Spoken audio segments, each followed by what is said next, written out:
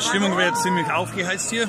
Ähm, wir werden gesagt, also wir werden gesagt, dass ein Ziffer vorne stehen ist und deswegen äh, also Sicherheitsmaßnahmen hier stehen. Aber wir haben jetzt auch erfahren, äh, dass es eine polizeiliche Maßnahme ist. Also in, so im Grunde genommen kann man das als Strafmaßnahme sehen. Äh, diese Leute, also wenn ich hier hinten schaue, also alle hier in der Gasse gefangen schon seit Stunden. Stunden. Keine Toilettenmöglichkeit, äh, eiskalt, ähm, alte Menschen, Kinder sind dabei. Äh, es ist natürlich, äh, das ist irgendwann die Geduld. Geduld Wir möchten Sie bitten, ruhig und friedlich zu bleiben. Ruhig und friedlich zu bleiben. Das dient alles zu Ihrer eigenen Sicherheit. Dass hier in kleinen Gruppen in Richtung Markt gegangen wird. Bitte bleiben Sie ruhig und friedlich. Nein, es ist halt schwierig zu wissen. Also, äh, ich habe keine Augen da vorne, also es ist schwierig zu wissen, was wirklich, was wirklich Tatsache ist. Also, äh, unsere Seite also, ist überwiegend friedlich, also das ist was, was cool ist, überwiegend friedlich bis jetzt, also und das ist halt wichtig. Ja, was wir nicht machen dürfen, ist diese, äh, diese Sack-Nachrichten, die wir haben, dieses Müll, die wir haben, äh, ARD, ZDF, Spiegel, das ganze Müll, die wir haben, äh, dürfen wir diese Bilder nicht äh, liefern, die wir so wollen, die wollen Bilder. Also, ich habe das gesehen vorher, also das, äh, ein bisschen Reinerei hier vorne sofort die Journalisten vorne äh, zur Stelle, dass sie, dass sie Bericht erstatten können, oder wie gewalttätig die, äh, die Demonstranten sind, also die Demonstranten, also die, die tragen alle Herzen, Kerzen und so ist also, also lachen, also sind alle total friedlich. Also, äh, der eine oder andere kaut habe ich immer irgendwo. Weißt, Und hier noch einmal, also, noch einmal, die Bitte, bleiben Sie ruhig und bleiben Sie friedlich. ähm, bis jetzt ist alle friedlich, also es ist eigentlich ziemlich friedlich hier, das muss man ehrlich sagen. Also, äh, zweimal war der, war der Antifa da, also bin durch ihre, durch ihre Linie, Linie gebrochen. Einmal hat einer da hier hinten, also irgendein Antifa ist irgendwie reingeschlichen und hat mir, hat mir das Handy aus der, aus der Hand rausgeworfen. Also äh, irgendwie ist er dann über der, über der Auto geflogen, ich weiß nicht wie, aber irgendwie ist er geflogen über der, über der Auto. Aber überwiegend ist es friedlich hier, das ist, das ist etwas so. Also, aber, aber die Geduld, weißt, die Leute müssen auf Klo, die haben Hunger, die sind kalt. Also, die sind nicht hier aus böse Absichten. Es ist nicht so, als wenn jemand aus böse Absichten hier rausgekommen ist. Also, siehst du die Menge, äh, die drängen sich jetzt richtig vor. Also, die lassen jetzt 30 Stück, so, so 30 Stück durch. Ähm, ja, also wir versuchen die Gruppierungen äh, zusammenzuhalten. Also es kann durchaus sein, dass irgendwie ein Tiffer oder irgendwas. Also äh, wir haben den Leuten schon gesagt, dass wenn ein Tiffer kommt, sofort zerlegen. Also äh, nicht, äh, nicht äh, äh, wenn wir nicht rumscheißen, also mit zerlegen sofort. Also keine, keine, keine, keine Zugpause mit, mit dem Ziffer. Äh, das sind Gewalttäter, das sind Terroristen. Mit solchen Menschen tun wir nicht spielen. Äh, von meiner Seite muss ich ehrlich sagen, also von meiner Seite, also ich stehe hier direkt neben der Polizei, also ich weiß also, ich weiß also manchmal kann man schimpfen, also, aber man muss auch Lob aussprechen, wo der Lob da ist. Also, und die, also bis jetzt habe ich mit der, mit der Polizei, die hier war, also wirklich also nur eigentlich Positives gehabt. Also haben, waren echt richtig höflich und nett. Also so, muss ich ehrlich sagen. Also so, äh, schimpfen kann man immer. Weißt, also loben muss man auch ab und zu inzwischen, also wenn es geht. Also, äh, und ein großer Lob an diese Leute. Also, Wahnsinn, was sie geduld was sie gehabt haben. Wahnsinn, wie die rausgekommen sind. Wahnsinn, wie die Zusammenhalt haben. Wahnsinn, der Liebe. Schau mal, dieser riesen fette Herz hinter mir. Das ist, was hier, hier kursiert, solche Herzen. Also, und das ist wirklich die Stimmung, die man hier hat.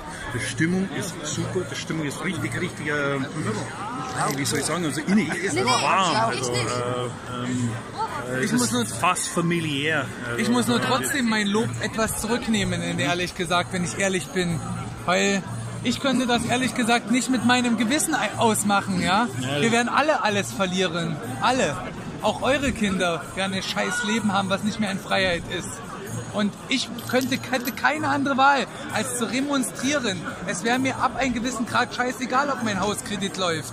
Weil es geht einfach darum, dass dieses Land und diese Diktatur, die hier installiert wird, dafür braucht man auch keinen hohen IQ, um das zu erkennen. In der möchte keiner mehr leben. In der möchte auch kein Beamter mehr leben. Und besonders nicht, wenn er als erstes geimpft wird. Das ist der Grund, warum ich das nicht verstehen kann. Ich könnte mich nicht hier hinstellen und Mut- Mütter und Väter hier über Stunden hinweg einsperren, egal ob sie höflich sind oder nicht. Auch wenn es, auch wenn es eine andere Art des Auslebens ist als in Berlin. Aber das liegt auch nur an unserer Friedlichkeit.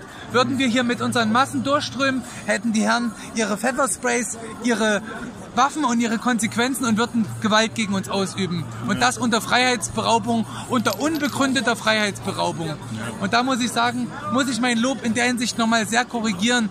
Man hat einfach als Mensch, nicht als Polizist, als Mensch, hat man einfach zu sagen, sorry Leute, das ist eine riesen Scheiße hier. Ich tue doch nicht Mütter und Väter und Omas und Opas einsperren. Ich bin Mensch und nicht Polizist. Und da geht das nicht mehr. Denn wir sind zum Schluss die Steuerzahler. Wir bezahlen jeden Einzelnen sein Gehalt. Nicht diese Fahr Fahrirren da oben.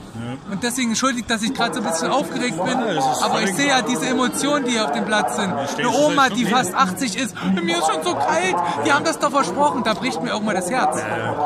Da denke ich mir, wie kann man sich denn da hier hinstellen und sagen, ich habe Pfefferspray, ich sperre dich ein wie im KZ. Und wenn es acht Stunden dauert, dauert es acht Stunden, wenn es zehn sind, sind es zehn. Das ist doch keine Menschlichkeit mehr.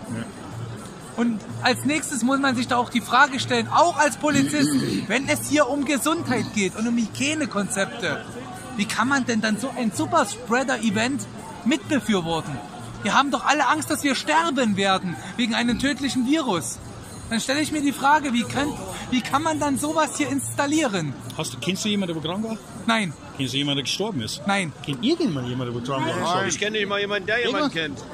Da kann der Das ist mein Problem, aber Das ich Schlimme, kenne doch das, ist niemanden. das Schlimme ist immer nur Corona-Befürworter kennen jemanden. Kennen ganz viele. Ähm, ja, das wird Miriam Hope, also wird bei, wird bei vielen sein. Bei MDR. Ja, bei MDR das nicht. ist das Also. Einzige, wo es leider nicht ist, weil, weil es die also, Realität ist. das ist immer, das ist immer, immer lustig, also weil kein Mensch kennt irgendjemand, der jemals krank war, jemals gestorben ist, gar nichts. Und dementsprechend sage ich, also jeder, der nur über, über Hygienekonzept oder, oder, oder Corona redet, ist nur noch dumm, finde ich. Wirklich, also ich muss, ich muss ehrlich sagen, ist nur noch dumm. Also, weil der Tatsache ist, also es stirbt ja niemand. Also die Hälfte von meiner Familie arbeitet in der Krankheitswesen, arbeitet in Krankheiten, Krankenhäusern. Die sitzen alle in Teilzeit Ja. zu Hause, weil niemand drin ist. Es Man ist leer. Ähm, hier hier geht es um ein neues politisches System, das reinbringen jetzt wollen. China, Ja. Art, China Art Überwachung. Maske, Äh, Maske wir nennen das, der, nennen das der, der Great Reset, nennen sie das. Ja, ähm, ja also Nein, Also wir äh, sind wir nennen das einfach also in, in ein Ja. altertümlicher, also nennen wir so das Kommunismus, also Egal, Totalitarianismus. Also Deutschland steht mal wieder direkt an der so Front in den Kampf gegen globales äh, Totalitarianismus. Wir stehen da wirklich in der, Mitte, in der Mittelpunkt jetzt. Also, und wie gesagt, also ich schimpfe oft einmal über unsere, unsere Landsleute, dass sie so passiv sind und so, so gehorsam. Aber, aber, wenn du hier schaust, wir haben die größte Widerstandsbewegung in ganz Europa. Deutschland hat die größte Widerstandsbewegung in ganz Europa. Also äh, in Berlin äh, laut, laut, äh, laut äh, ARD und ZDF haben wir, was haben wir, 38.000? Ähm, wenn, man, wenn man jetzt äh, die, die Bilder ansieht, dann weiß man, dass man Millionen waren. Also so, die haben Angst, die haben Angst. Die haben Angst vor friedlichen Menschen, die haben Angst vor Omis, vor, vor Mütter. In Berlin haben sie auf uns geschossen mit Wasser nach, nach der Nationalhymne. haben. Vor ein paar Wochen hier in Leipziger Demo, da waren wir mehr als Ja, ich hab's- ich hab's in Berlin 20.000 auch Mann, waren also. 45.000 Mann. Ja, wir wurden kom- komplett durch. Ganz gut komplett abgekriegt, durch. also war ich, ja, ich auch, also mal, die haben mich mit der Pfefferspray, also die, Ja, ja, rein in der Masse. Das war wirklich, mit das war wie Knüppel, ätzend. wie die bekloppt. ja, war echt heftig. Also, ähm, ja, so friedliche Demonstranten, die wo, die wo von der, von von So, der hier Gewalt der her Hinweis an